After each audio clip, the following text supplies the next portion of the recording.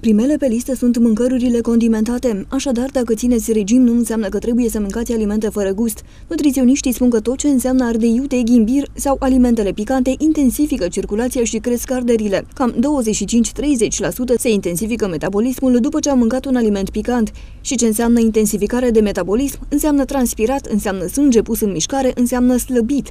La slăbit ajută și peștele, fructele de mare și mai ales algele. Toate alimentele care vin din mare și conțin iod cresc activitatea activitatea glandei tiroide, așa că fructele de mare sau peștele care este venit din ocean este foarte important să fie prezent în dietă atunci când ne-am hotărât să slăbim. Însă nu excludeți din cura de slăbire nici lactatele slabe. Calciul care este în compoziția lactatelor slabe se leagă de grăsimile alimentare și le împiedică absorpția. Astfel, o cură de slăbire care conține produse lactate are efect mult mai rapid și ne ajută să slăbim cam cu 20% mai mult decât o cură de slăbire fără lactate. Aliate în lupta cu kilogramele sunt și alimentele care au calorii negative. Proteinele prezente în carnea slabă, pește, în nou, acele au calorii negative.